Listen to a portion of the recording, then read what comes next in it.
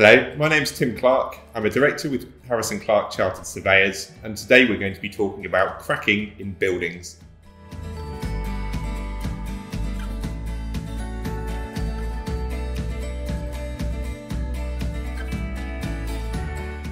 As with anything building related, don't panic.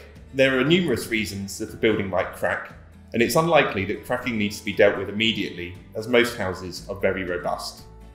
In our experience, cracking can be caused by a number of factors, including thermal movement, freeze thaw action, impact damage, settlement, and subsidence.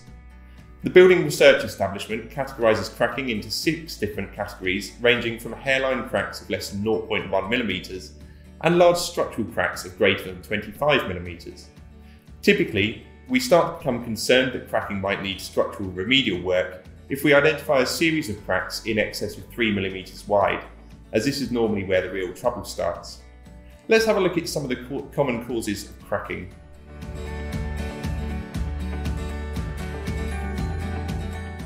Thermal movement is by far the most common cause of cracking we see, this is particularly prevalent in new or refurbished buildings, especially those with a large quantity of timber components. These types of cracks are usually hairline in nature and are caused by the natural expansion and contraction of building elements. Often, but not always, this type of cracking is worse at upper floor levels, as buildings are normally less rigid and less restrained and have less weight holding them in place.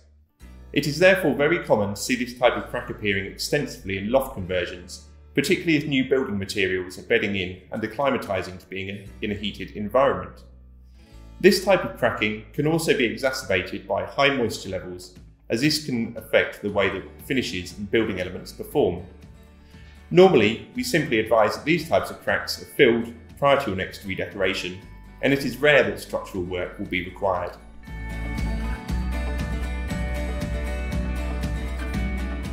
This type of crack tends to develop externally and is most common through mortar joints and brickwork.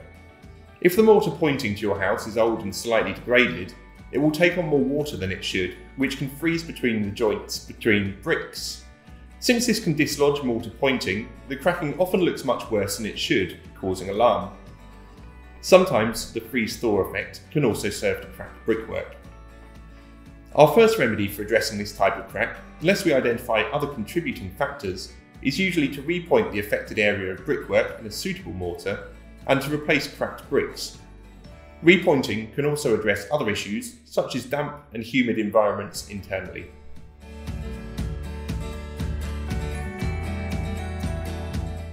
From a one-off inspection, impact damage can be hard to diagnose, of course, if a property owner has driven their car through the porch, this might be obvious. On the other hand, we often see quite significant cracking which has been caused by vibrations when installing windows and doors or adding an extension to the rear. Often this cracking stays as it is for years without causing problems, but due to freeze-thaw action can sometimes worsen, allowing water ingress or internal cracking to develop. Sometimes, when it is unclear if damage has been caused by impact, we recommend a period of monitoring to ensure that the problem is not caused by something more serious, such as movement to the foundations. We cannot always be absolutely sure, without this monitoring, of the cause of this movement, but we use our experience to guide the client to the most likely cause, setting out the risks of other causes and what type of work might be required in the future. This type of cracking can be almost any size, and we will advise on remedial work accordingly.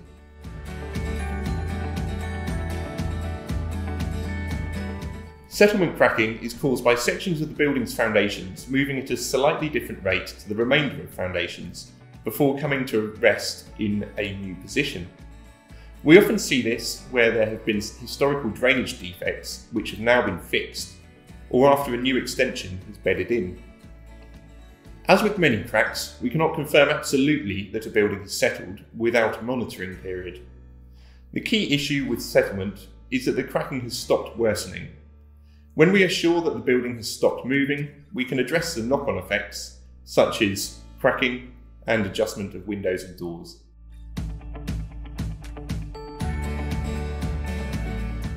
Subsidence cracking is similar to settlement cracking, but with one key difference the building is continuing to move.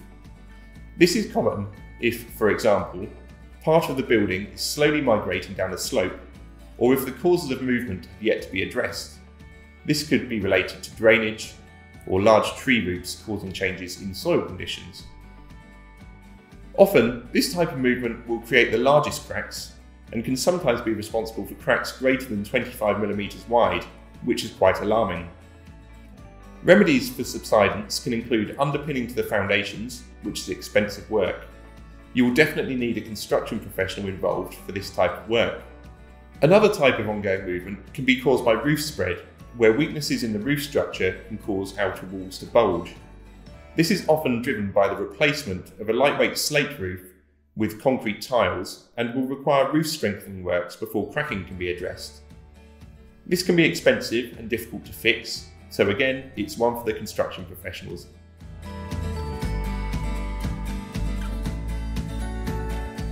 Following our recent heatwave, we have experienced an increased level of inquiries relating to cracks in buildings which appear to be driven by movement that is a kind of hybrid of settlement and subsidence. This seems to be driven by soil drying out and contracting, allowing foundations to move in unexpected ways. We even saw one building which had been underpinned following the 1970s heatwave, which had cracked again in exactly the same areas as before. We were able to compare the new cracking with the engineer's report at the time. If you think that your cracking might be connected to the heatwave, you should first consider waiting a couple of months for some rain to see if your building returns to normal, which we would expect to be the case for many buildings. While you are likely to be left with some minor cracking, this is most likely to be cosmetic only. So if your cracking only appeared shortly after the heatwave started and has not developed into cracks of 3mm wide or more, it might be worth giving it some time before asking a surveyor for advice. Of course, if you are alarmed, do speak to a surveyor.